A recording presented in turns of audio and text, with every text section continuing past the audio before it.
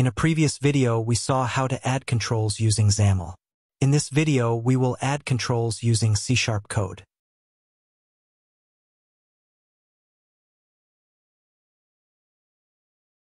Let's remove the default text that is in the main window.xml file.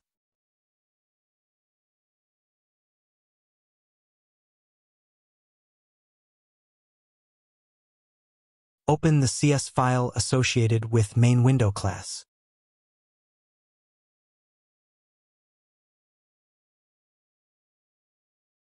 In main window constructor, after the initialize component call, add code to create a text block and set its text property.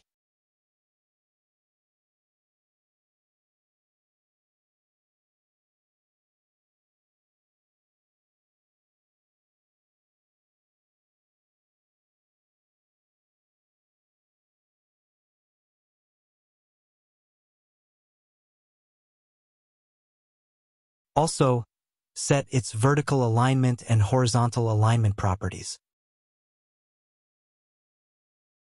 Then, set the content property of the main window class to the newly created text block control. Run the application.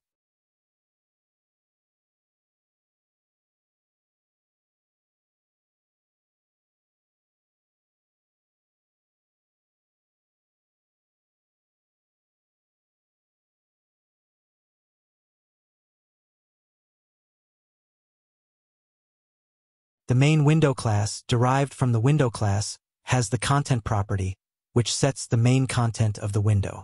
The content property can hold a single control, which will be displayed as the main content of the window.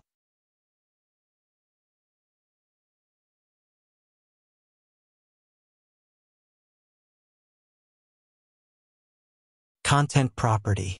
If you need to display multiple controls, you typically use a container control like grid, stack panel, or dock panel. You can dynamically change the window's content by setting the content property to a different control at runtime. The control set as the content will be responsible for managing its layout and the layout of any child controls it contains. Layout management. Layout management involves arranging UI elements in a visually appealing and functional way. Avalonia includes a group of elements that derive from panel class base class for controls that can contain multiple children.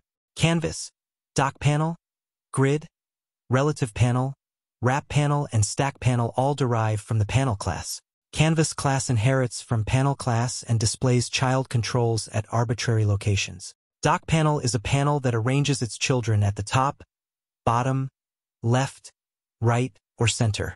A grid is a panel that defines a flexible grid area that consists of columns and rows. A relative panel is a panel that defines an area where you can position and align child objects about each other or the parent panel. A wrap panel arranges child controls in a sequence, wrapping to the next line or column when the edge is reached. A stack panel arranges child controls in a single line, either vertically or horizontally. In this video, we will be adding controls using grid and stack panels let us add a grid to the main window.xml file.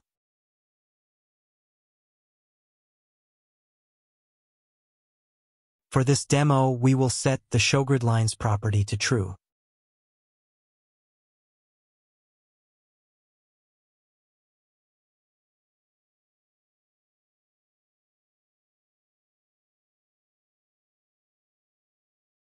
The grid has three columns and three rows we will try to add the grid using C-sharp code instead of XAML.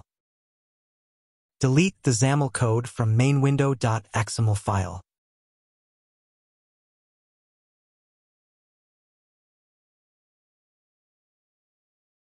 Add a createGrid function. This function initializes a grid object and sets its name and showGridLines property.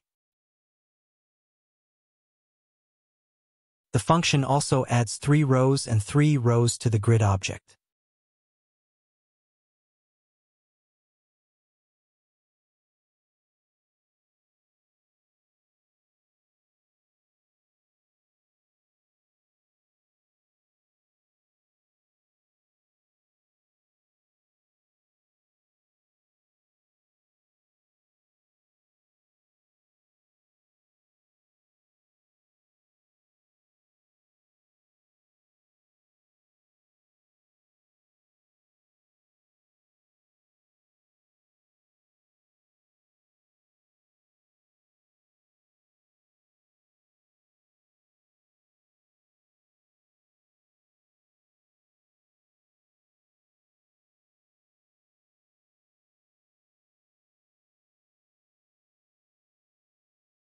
Then, it sets the grid's vertical and horizontal alignment properties.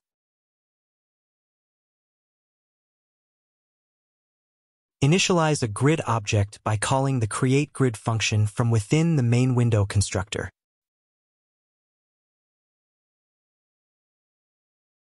And set the content property of the main window class to the newly created grid object. Run the application, we can see the grid created in the main window class. Now we will add a stack panel to the second row of the grid. Within the stack panel, we will add a border object and a text block within the border object. We will also add a command button to the stack panel. After adding these objects, the main window will look like this. Now we will create a stack panel and add a border object to the newly created stack panel.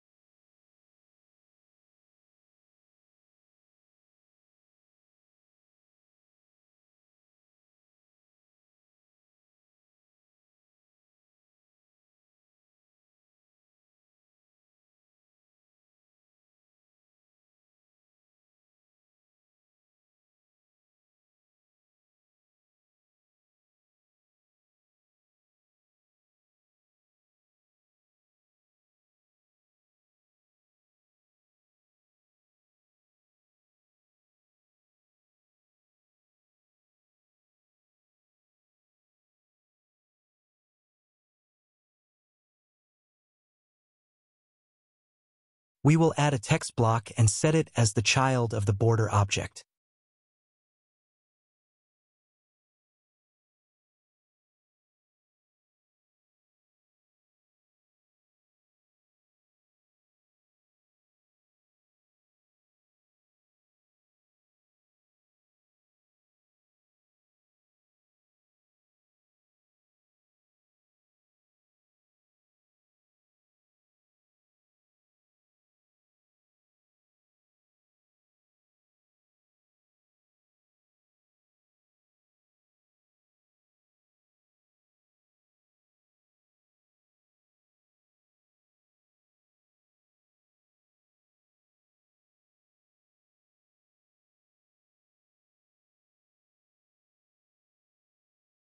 We will create a new function, add stack panel to grid, to set the grid set column span function and the grid row.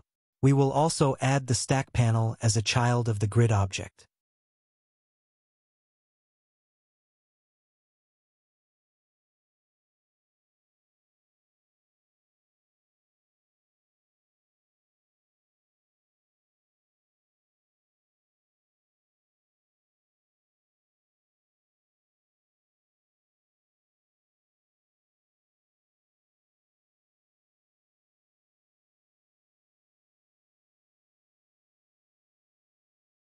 Change the newly added stack panel to be displayed in the second row of the grid. Run the application.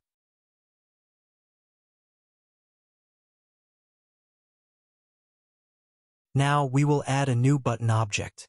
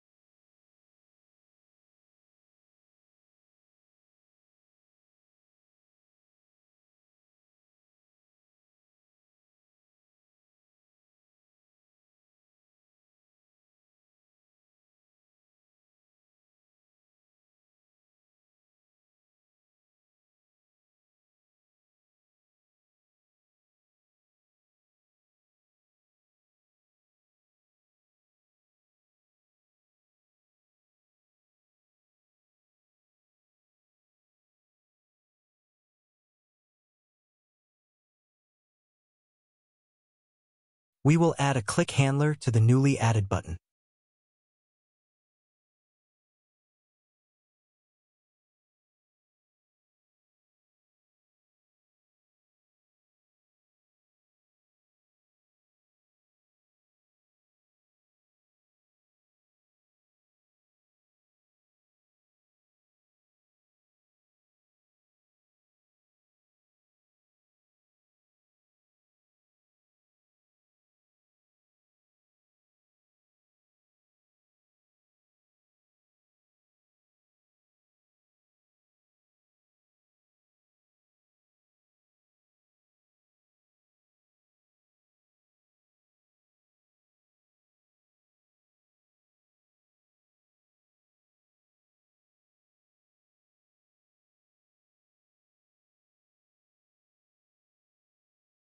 Run the application.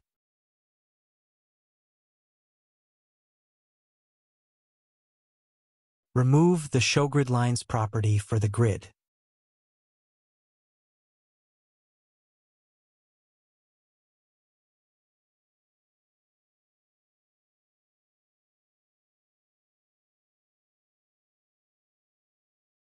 Run the application. So in this video, we saw how we can create controls without using XAML. Thank you for watching.